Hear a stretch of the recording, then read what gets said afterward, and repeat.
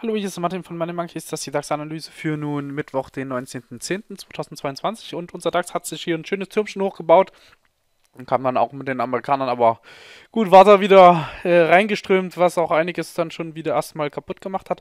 Wir hatten gestern ähm, drüber gesprochen, über was eigentlich? Ich kann nicht mehr erinnern. Ich glaube, es war ein langes Video. Da ging es bestimmt viel um ähm, Psychologie ja, um das, was dahinter steht, warum der Markt steigt, wie er steigt und warum er fällt, wie er fällt. Wir hatten darüber gesprochen, dass viele überrumpelt sind, ähm, viele auch ohne Stop-Loss unterwegs waren und der Markt bestimmt nochmal oben raussticht. So in die 940, 830 Reihen hat man gesagt, ne? also dass er einfach da noch ein paar Punkte abholen kann. 830, 49 Reihen und auch höher, haben wir ja glaube ich sogar so gesagt. Ähm, wir waren jetzt hier an dieser Trendlinie dran, die wir im Tageschart schon mal vor ein paar Tagen ein bisschen ins Visier genommen hatten, als wir gesagt haben, hier unten, wenn er sich ja hier so schön abgeflacht hat und äh, sechs Tage gebraucht hatte für die zwei Tage aufwärts, wenn er sich hochdreht, dass er durchaus da oben nochmal dran kann. Das ist jetzt eingetreten. Das heißt, man muss jetzt ein bisschen aufpassen, dass das nicht bloß ein Pullback war. Dann wäre das ja einfach bloß eine ABC-Formation gewesen. Pullback und dann hier quasi eine, einen dritten Abwärtsstrang, wenn man die, den und dann von hier nochmal einsieht. Der würde wahrscheinlich am Tief nicht weit kommen, sondern auch bloß hier unten erstmal kurz reinstechen und wieder zurück. Weil das insgesamt jetzt in der Abwärtsbewegung doch zu korrektiv geworden ist. Aber wie gesagt, das ist halt einfach ein wichtiger Punkt, von dem man auch ein bisschen Gegenbewegung erwarten kann.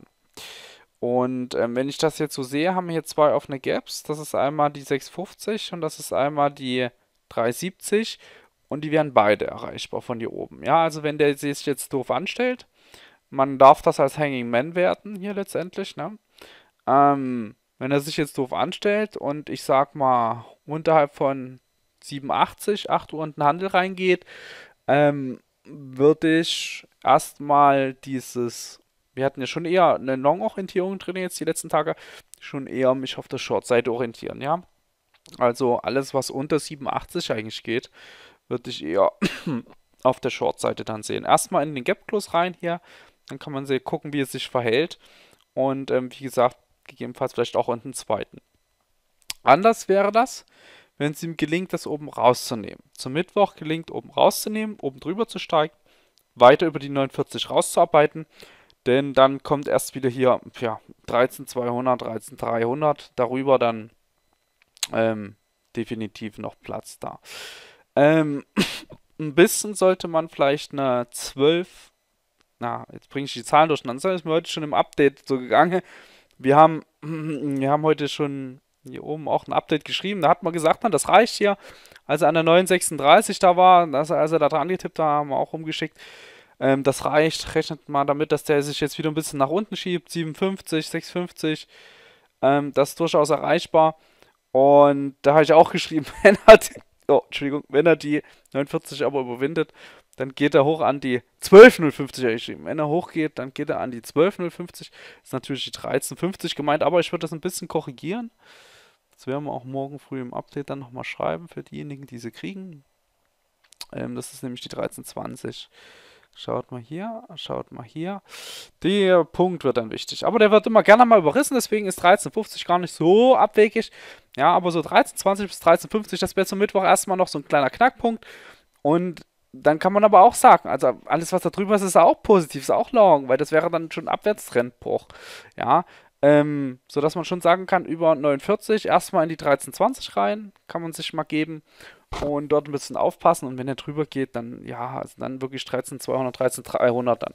Ja, also rein in die nächste Trendlinie hier am Tageschart, die dann momentan notiert um die 13.250 rum.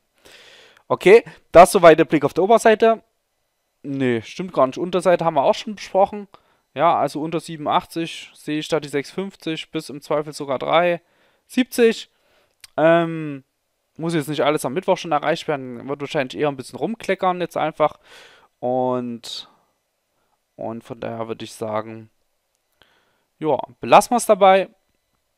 Blick ist klar, wichtige Stelle ist erreicht, Gap ist geschlossen, das war ja auch immer mit eines unserer Ziele gewesen, die 49 haben wir relativ auf den Mund gehabt, schon in der Anstiegsphase hier. Und jetzt muss man gucken, ja, wenn er jetzt hier natürlich sich nach unten wegstößt, ähm, Rücklaufrisiko ist doch erheblich. Insbesondere wenn es dann bloß eine dreiwellige Bewegung war. Muss man mal aufpassen, weil auf dreiwellige Bewegung wäre dann Wellenschnitt, ja, nach Wellentheorie und so weiter, eher unschön, weil das die Wahrscheinlichkeit sogar erhöht, dass man hier nochmal ein neues Tief kriegen kann. Ja, gibt Ausnahmen, genügend auch, muss ich nicht erwähnen, aber muss dafür über die 49 klar drüber. Kann man sich eigentlich relativ einfach machen, entweder ist er da drüber oder er ist unter 87 und so könnte man sich dann den Handel für den Mittwoch auslegen. Ich mache hier zu, wünsche euch gutes Gelingen, viel Erfolg und dann hören wir uns morgen wieder. Bis dahin, tschüss.